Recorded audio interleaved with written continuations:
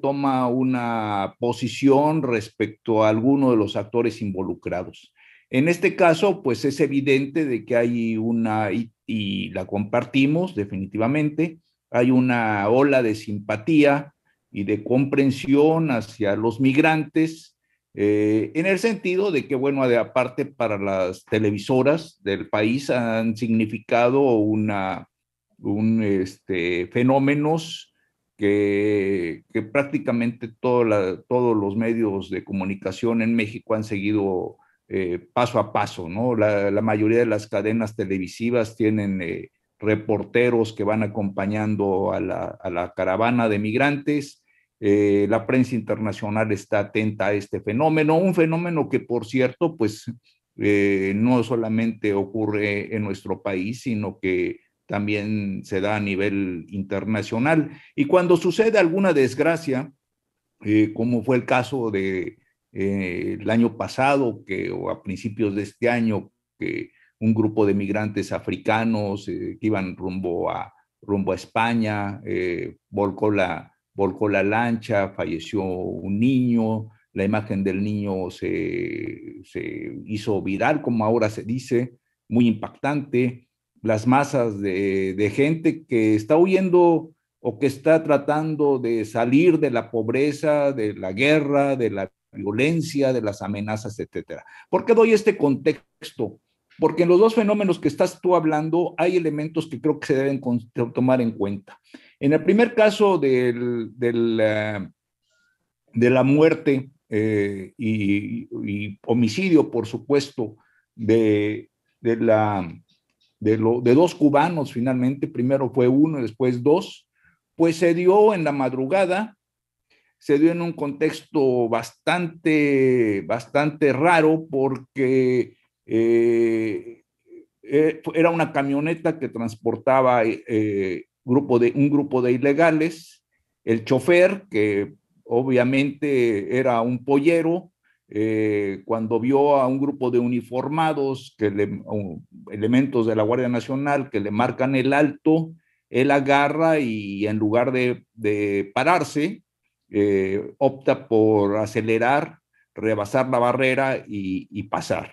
Ante esto le disparan y bueno, después eh, él pierde el control y se descubre que, hay, que, que el vehículo transportaba migrantes y ahí desgraciadamente fallece un, un hombre que después se, se comprueba que, que, era de origen cubano.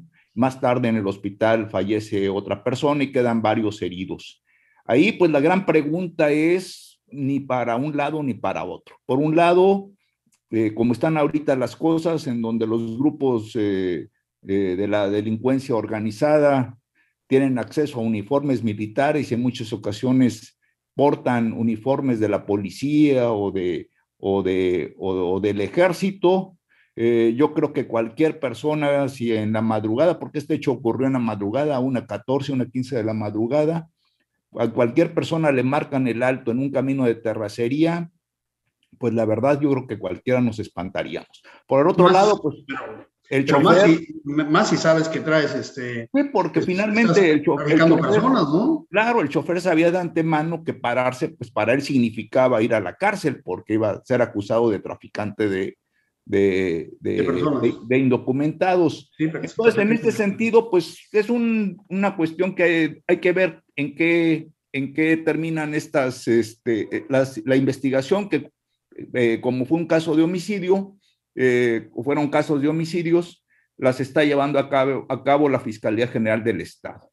No creo que tan, aquí pueda decirse tan fácilmente que fue abuso de la Guardia Nacional, abuso de, la, de, las policías. Creo que el contexto se debe analizar con mucha objetividad.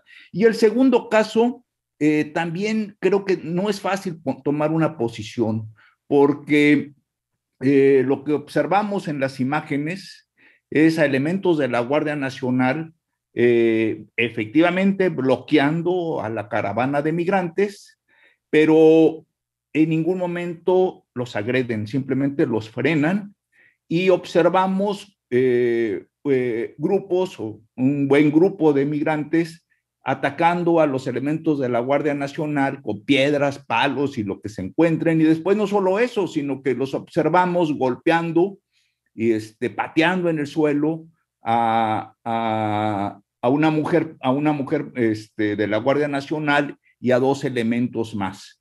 En consecuencia, aquí yo creo que lo que se debe de hacer, más allá de, independientemente de la simpatía que tengamos hacia uno u otro lado, pues es, también son casos de aplicar simplemente la ley, ¿no? Porque pero no, es tan fácil, Ricardo. O sea, no es tan fácil. pero estoy dando el contexto, estoy dando el contexto. No es tan fácil calificarlo, pero tampoco es, no me atrevería yo a condenar la situación de que fue aquí, por, aquí no hubo represión. Aquí lo que estamos, pero, a ver, pero lo que estamos observando es como en muchos otros casos que para evitar las acusaciones de violación de los derechos humanos, las autoridades, la Guardia Nacional sobre todo, ha optado por prácticamente mantenerse eh, impávida ante, ante, ante las agresiones, insultos, etcétera, etcétera. Y, y, pues yo creo que a mí la verdad pues, eh, no se me hizo de ninguna manera y creo que no debe quedar impune el hecho de que, de que estos migrantes que tienen todo el derecho de caminar por, por el territorio nacional, pues se pongan a, agarrar eh, palos, a agarrar eh, varillas, a patear a una mujer y a, herir a los elementos. Creo que se debe de aplicar la ley y ah, a, los, los responsables se les debe de castigar. Eso está bien claro, ¿no? A ver, Ricardo, pero mira, eh, además de los casos específicos, es decir, ya, ya describiste el tema de los, o sea, los casos concretos, el de el asesinado o los dos asesinatos de los cubanos, y el caso de la agresión a la Guardia Nacional, yo me iría a hacer el análisis más bien desde la perspectiva de que por qué ocurre ese fenómeno. Desde luego que el tema de la migración es, ya decíamos, muy complejo, que requiere una atención intercontinental, requiere que participen más de un país. Y, ya hemos hablado en este, en, este, en este programa que todo se desata, o más bien se vuelve un, eh, el fenómeno llega a un clímax a partir de la política migratoria de Estados Unidos, cuando, cuando Trump eh, criminaliza la migración y, para justificar su política, bueno, al parecer hay bandas internacionales que eh, masifican la migración en ese momento. Y eso justifica mucho, o en gran medida justifica realmente el discurso de Trump. Parece, parece ser que hay una complicidad ahí entre esas bandas y quién sabe con quién, pero lo que ocurre es que cuando llega el presidente Andrés Manuel López Obrador, hay una política de puertas abiertas en el país, lo cual aprovechan bandas migrantes que antes pasaban por San Francisco, San Diego, entraban por Miami, para entrar por acá, por el sur, entrar por, eh, llegan a, Guatemala, cruzan este, por, por Tapachula y luego toda la ruta que ya conocemos, que, que son distintas rutas terrestres, y eso ha incrementado terriblemente la migración. ¿Cómo se ha resuelto en el periodo de Biden? O sea, aquí lo interesante es que hay que analizar las políticas públicas respecto al fenómeno que estamos viviendo. ¿Cómo se ha resuelto ahora en la administración de Biden? En el caso de los haitianos, que aquí en México se pusieron de una manera muy, muy agresiva, que em, hubo distintos disturbios, incluso llegaron a agresiones. Cuando llegaron a Estados Unidos, Estados Unidos, por supuesto que también fue condenado a esa imagen del caballo persiguiendo a un haitiano, pero Estados Unidos aplicó su política migratoria y expulsó a, los, migrantes haitianos, los subió a los aviones y los regresó a su, a su país de origen. Por supuesto que eso es condenable, pero también habrá que entender la política migratoria de Estados Unidos, donde si abre la frontera, pues imagínate cómo, cómo, se, cómo estarían las cosas. O sea, cuando llegaron los, los haitianos a Ciudad Acuña eran 18 mil 18, haitianos en un, en un poblado en donde habitan algo así como 9 mil o 10 mil personas. Es decir, había más del doble de las personas que habitualmente están en ese, en ese poblado. O sea, por, por supuesto, desquiciaron todos los servicios, porque las migraciones humanas masivas, por supuesto que, que desquician todo el sistema administrativo. Es decir, eh, yo creo que nadie tiene derecho a decirle a otra persona en dónde estar y en dónde no estar, pero las naciones tienen su forma, tienen sus leyes, y por supuesto que debemos de defender los derechos humanos de los migrantes. Nada más que hay que pensar lo siguiente. Ningún derecho humano, ninguno, y eso hay que tenerlo muy claro, es absoluto. Los derechos humanos tienen limitantes. ¿Y cuáles son esas limitantes? Las limitantes son que no afectes a terceros, el primero. Segundo, que no, que no, eh, que, en el ejercicio de, tu, de, los derechos, de los derechos eh, eh, humanos, no perturbes la paz pública, no atentes contra el bien común, no generes disturbios que afecten a, la sociedad. Es decir, hay limitantes teóricos, metodológicos, conceptuales, jurídicos, que hacen que los derechos humanos, que deben ser respetados, los derechos humanos de los migrantes, también tengan esas limitantes para, poder, para poderse exigir, para poder ser exigibles. A mí me parece que es una política pública muy errada el poner a la Guardia Nacional y no darle a la Guardia Nacional una estrategia protocolaria de qué hacer, cómo, cómo atender al, eh, el tema de la migración. Si los ponen nada más como una imagen, ya nos dimos cuenta que, que, los migrantes no van a respetar solamente la imagen. Es decir, en muchos lugares el, simple hecho de estar una persona uniformada eh, cuando, cuando, es parte de, la, de, la, de, las Fuerzas Armadas ya implica un, implica un, un respeto.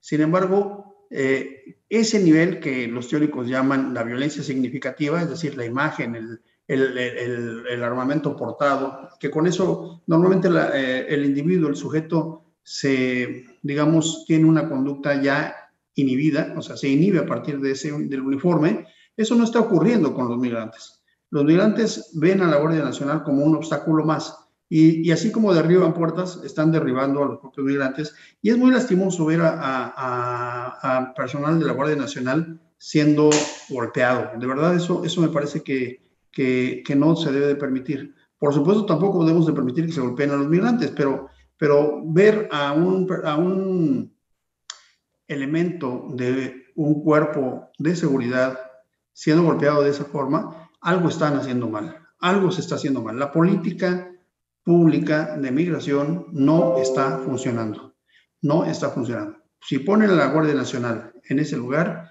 tienen que darle un protocolo, un seguimiento eh, dentro del respeto a los derechos humanos, pero también dentro del respeto a los derechos y la seguridad nacional. Eh, quizá el marco jurídico ya no sea suficiente o quizá la aplicación del marco jurídico no se esté haciendo de manera eficaz. Pero ese tipo de imágenes golpeando a la Guardia Nacional le dio la vuelta al mundo, indignó a las Fuerzas Armadas seguramente, indigna a los cuerpos eh, de seguridad y por supuesto a mucha gente le molesta, o sea, porque pasa, el, migrante pasa de ser el hermano eh, al que hay que apoyar, al, pues al violento que llega a golpear a, tu, a, un representante de las guardias, de las Fuerzas Armadas en tu país. O sea, ha generado mucha controversia.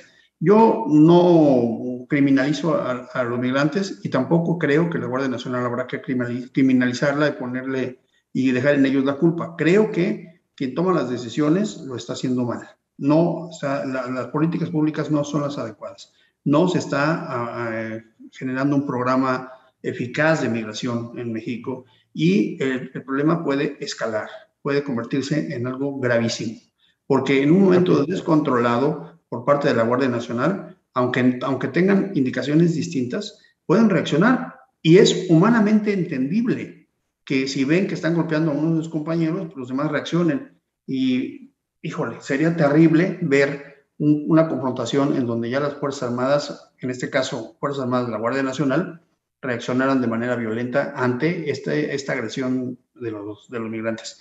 Creo que hay que hacer algo, hay que hacer algo y tiene que, creo que cabe en el campo de la política, de la diplomacia, el hacer acuerdos con los países eh, vecinos de Centroamérica, el hacer pues estrategias de, de, inteligencia para saber quiénes son las mafias que están detrás de ellos y empezar a trabajar en contra de ellos, porque no es casual, o sea, cada uno de los migrantes que viene ahí viene pagando un proceso de traslado, ¿eh? hay que decirlo, no son, no son migrantes espontáneos, todos vienen pagando a un coyote, vienen pagando a un líder que los va conduciendo poco a poco por el territorio nacional para llegar al sueño americano.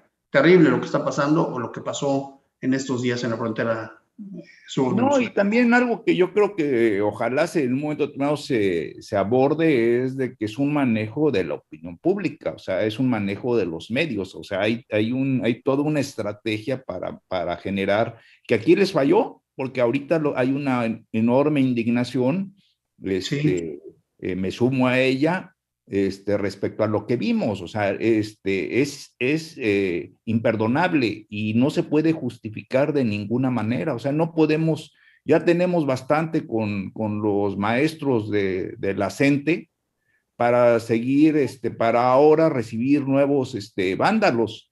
Pero otra cosa que creo que a veces se nos olvida, eh, existe en eh, la política de migración nunca ha significado libre paso. O sea, para eso, si esto funcionara, pues no existirían los pasaportes.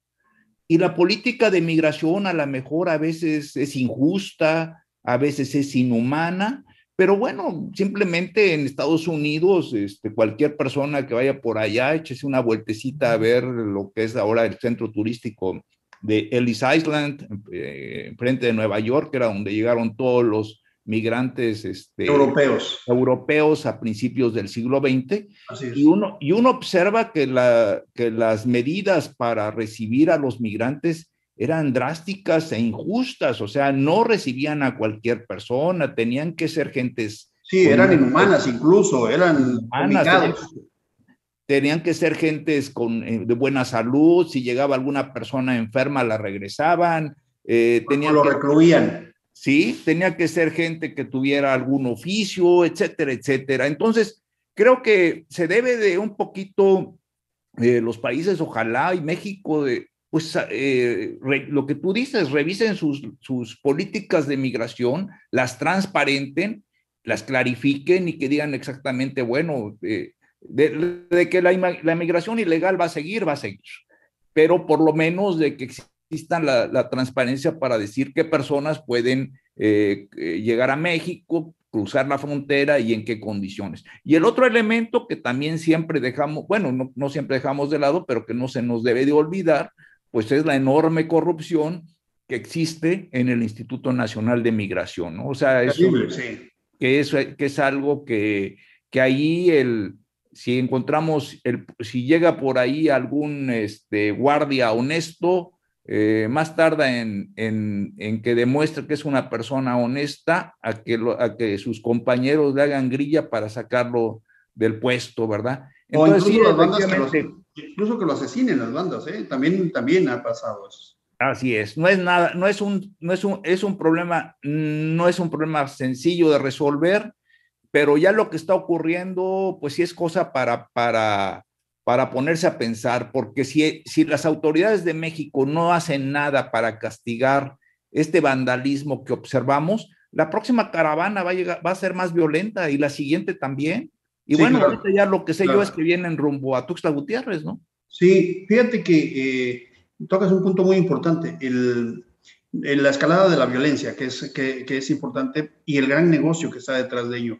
Eh, estaba leyendo el otro día un reporte eh, internacional de la ONU donde ubicaba al tráfico de personas como el tercer negocio em, delincuencial mm, con mayores rendimientos en el mundo, después del narcotráfico, por supuesto, con toda la variedad de, de drogas, ¿no? Este, y la extorsión, en el caso de México, la extorsión, que sigue siendo un gran flagelo social, o sea, es un negocio que les deja mucho dinero, el tercero es el tráfico de personas. Porque fíjate y, fíjense amigos que en el caso del tráfico de personas, lo que está detrás no es solamente los migrantes, ese es, una, es solamente un, digamos, una imagen muy parcial.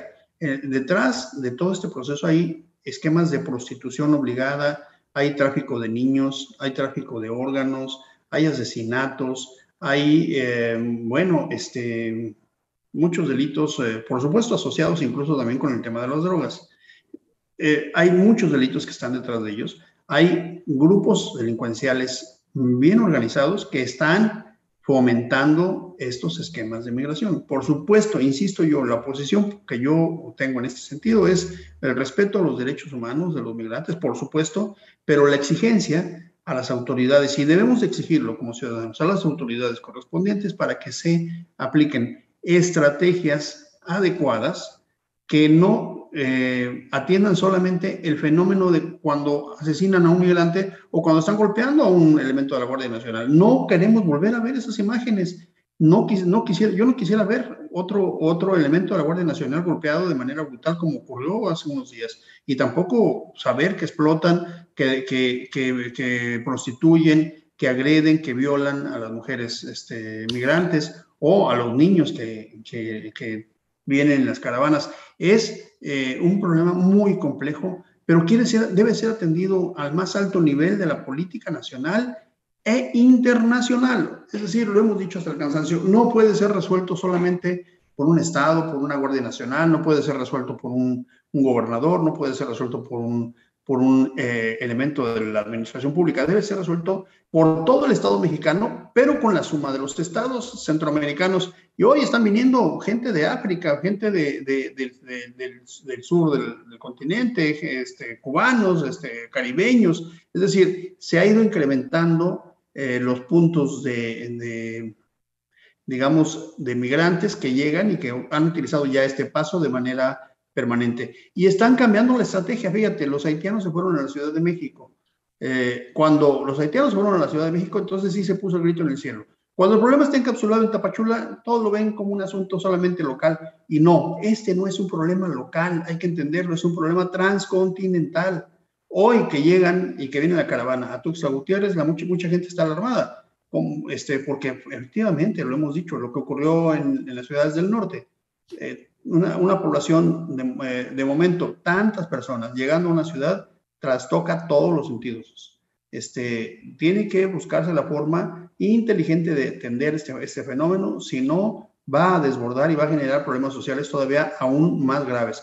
Pero insisto, no debemos, no queremos y no debemos de permitir que se vuelvan a repetir esas imágenes eh, golpeando a la Guardia Nacional ni tampoco asesinando a los, a los migrantes. Esa no es la solución. No, la solución no es la confrontación, la solución es la vía diplomática, el protocolo administrativo, el cumplimiento de la ley, la modificación de las leyes si fueran necesarios y el entendimiento transnacional para poder resolver este tema. Por supuesto, hay que aplicar toda la ley contra las bandas organizadas que hacen de la migración un gran negocio. Así es, yo estoy totalmente de acuerdo. Muy bien, este, Ricardo, pues vamos a estar muy atentos a ver qué pasa con esto en los próximos días pues hoy tenemos otro tema, vamos a pasar a otro tema también igual de importante. Estuvo la comparecencia de Lorenzo Córdoba, una comparecencia muy esperada para los amigos. Les recordamos solamente que Lorenzo Córdoba es el presidente del Instituto Nacional Electoral, antes el Instituto Federal Electoral, y hoy estuvo la comparecencia, se esperaba un agarrón. ¿Qué es lo que pasó, Ricardo del Muro? Danos una reseña, un contexto, por favor. Pues efectivamente se presenta la comparecencia de Lorenzo Córdoba. Eh, todo el mundo esperaba que, sobre todo por el lado de Morena, que fuera cuestionado. Fue, fue cuestionado, por supuesto, en muchos aspectos que ya se señalaban, de que, sobre todo en el ámbito de la, del presupuesto eh, que, se, que, se, que, se está que está solicitando esta dependencia, pero yo creo que la comparecencia, al menos esa es la opinión generalizada, que la comparecencia de Lorenzo Córdoba, al igual de la de Zoé Robledo, que es que él, que él compareció ante la Cámara de Senadores, este, pues salieron bien librados los dos, ¿no? Creo que eh, los dos eh, dieron buena respuesta, al menos para lo que se esperaba, que eh, mediáticamente se pensaba que iba a ser una especie como de linchamiento. Un juicio sumario. Todavía, para el caso de Lorenzo se esperaba un juicio sumario, ¿no? Así es. Pero, este, pero hasta todavía hace una hora seguía, todavía seguía la comparecencia de Lorenzo Córdoba, Ciro Murayama, que es integrante del, del Instituto Nacional Electoral. Eh, de hecho, dio comentarios muy ligeros al respecto, pero nos dio esta, esta perspectiva de que, de que Lorenzo Córdoba, pues, este, hizo, dio, se puso en un, en un papel de estar eh, con, con bastante tolerancia a estar explicando paso por paso y bueno, yo creo que los, eh, los las puntualizaciones eh, se van a, lo vamos a, poder observar mejor mañana en la, en la prensa, este, en los periódicos que nos van a dar detalles sobre, la, sobre los cuestionamientos. Pero al parecer estuvo bastante bien. Fíjate que Lorenzo, Lorenzo Córdoba es un personaje que conoce muy bien el proceso, el proceso y conoce muy bien el proceso electoral en todos los sentidos eh, y conoce muy bien al Instituto Electoral. Es un académico que ha hecho trabajos muy interesantes y que hoy, eh, estando al frente del Instituto Nacional Electoral, a mí me parece que ha hecho un, un trabajo muy serio, muy responsable y de muy buen nivel. Por supuesto que como árbitro, a los, como en un partido de, de, fútbol, ¿no? El árbitro a veces no le gusta a, los jugadores, es, eso, que, eso es entendible, ¿no? Es entendible, pero eh, ha hecho un trabajo muy respetable. Yo creo que hay que reconocerlo. El Instituto Electoral ha tenido distintos presidentes. No todos han hecho trabajos buenos, ¿eh? hay que señalarlo. Por supuesto, el legendario José Goldenberg hizo un trabajo muy, muy serio, muy interesante, muy importante y yo creo que marcó la pauta. Ese consejo, José Goldenberg, este Cantú, Lino Merí, este, Merino, em, em, no recuerdo quién más estaba ahí, este, eh, fue un, consejo muy, ah, pues hasta Santiago Krill era consejero en ese tiempo, Sabadúa era consejero en ese tiempo.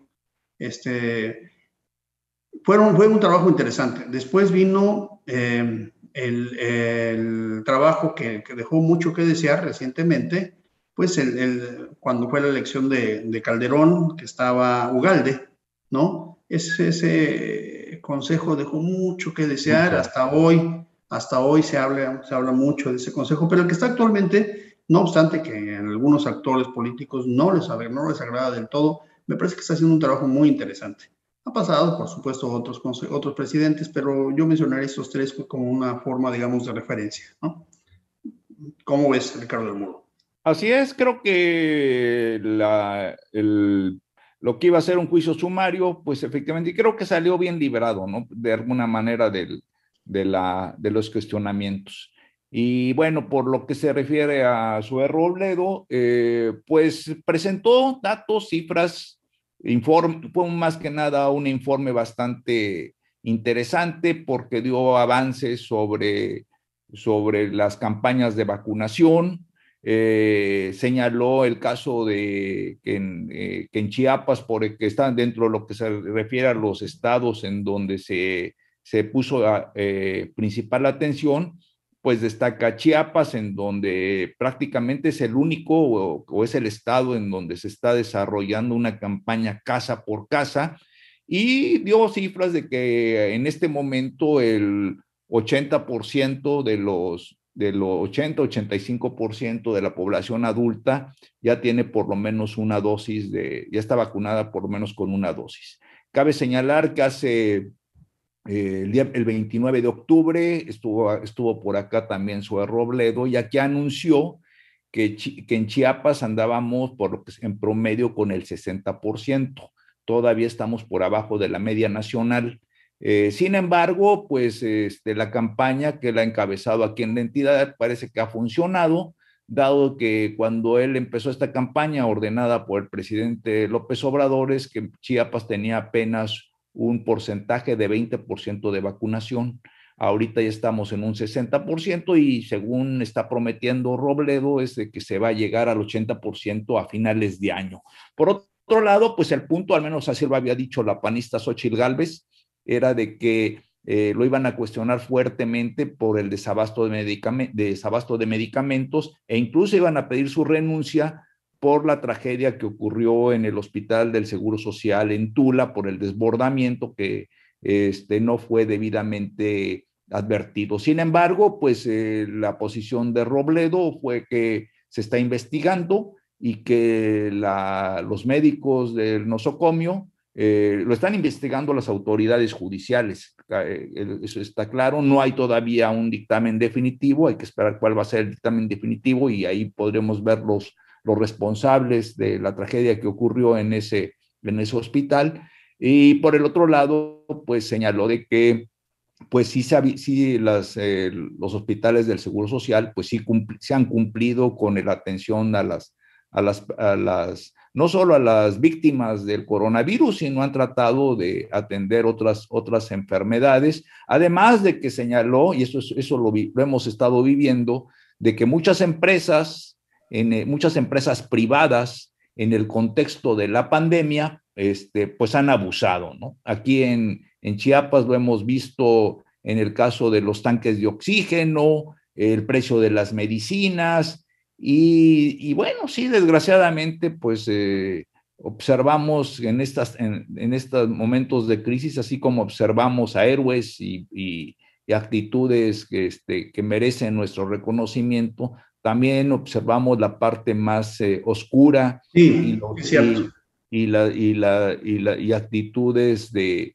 de ruines, de comerciantes que, que no les importa, que ven esto como una oportunidad para, para enriquecerse. Sin embargo, este, una de las oradoras eh, que participó ahí, se me hizo interesante su comentario, dijo que había sido una comparecencia este, transparente, que había, se había, y que sobre todo, eh, algo que llamó mucho la atención, me llamó mucho la atención, comentó que eh, fueron participaciones, porque creo que también este, lo hizo el del Instituto, el del ISTE, que fueron participaciones en donde no se hicieron bromas grotescas ni llegaron con actitudes de soberbia, que lo único que hacen pues es polarizar las posiciones, este, pues no solamente en el Senado o en el Congreso, sino a, sino a nivel nacional.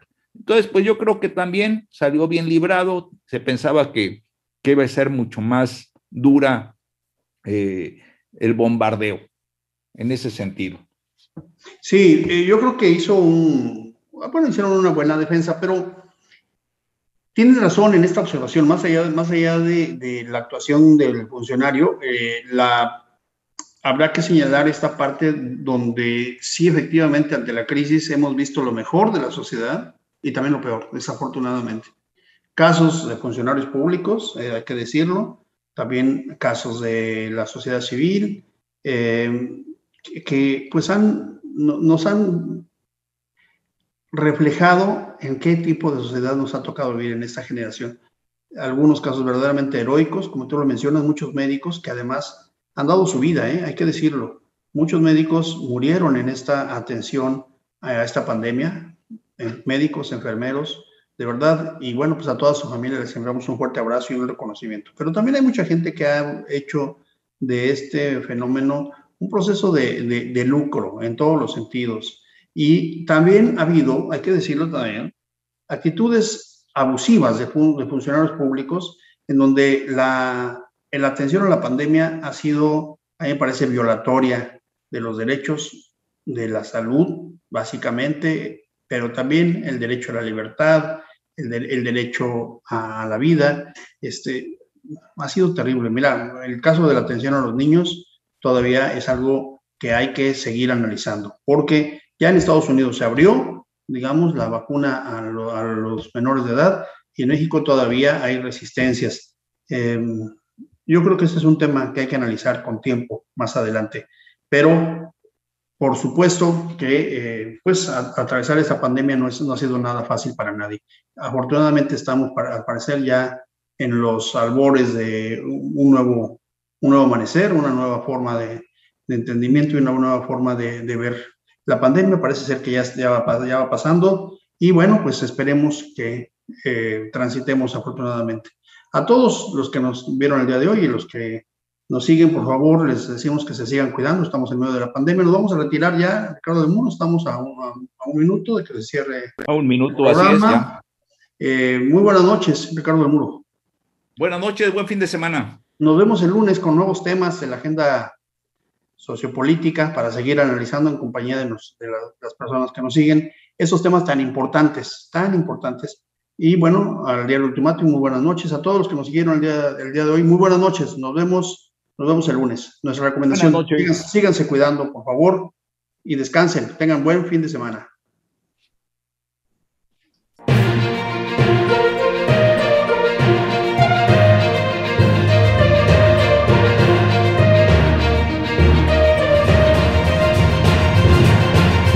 Textos.